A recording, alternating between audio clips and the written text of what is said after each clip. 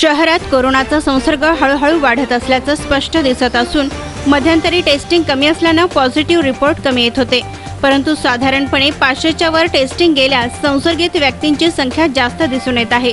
तर सोलापूर शहर हद्दीत आज शुक्रवार दिनांक अकरा सप्टेंबर रोजी कोरोनाचे एकूण साठ रुग्ण आढळले असून यामध्ये छत्तीस पुरुष तर तेवीस महिलांचा समावेश असून आज उपचार घेऊन बरे होऊन घरी गेलेल्यांची संख्या चौसष्ट इतकी आहे. यामध्ये एकोणचाळीस पुरुष तर पंचवीस महिलांचाही समावेश होतो. तर आज शुक्रवारी महानगरपालिकेनं कोविड विषयक दिलेल्या माहितीनुसार चारशे नव्वद जणांचे अहवाल प्राप्त झाले असून तर एकोणसाठ जणांचे अहवाल पॉझिटिव्ह आले आहेत. तर आज चार जणांचा कोरोनानं मृत्यू झालाय. तर आज चार जणांचा कोरोनानं मृत्यू झाला असल्याची नोंद करण्यात आली आहे. अशी माहिती यावेळी महापालिकेच्या आरोग्य अधिकाऱ्यांनी दिली आहे. त्याचबरोबर शहरातील आतापर्यंतच्या पॉझिटिव्ह रुग्णांची संख्या सात हजार तीनशे त्रेसष्ट असून एकूण मृतांची संख्या चारशे चाळीस इतकी आहे. तर आजपर्यंत रुग्णालयात दाखल असलेल्या बाधितांची संख्या सातशे नव्याण्णव इतकी आहे. तर बरे होऊन घरी गेलेल्यांची संख्या सहा हजार एकशे चोवीस इतकी आहे.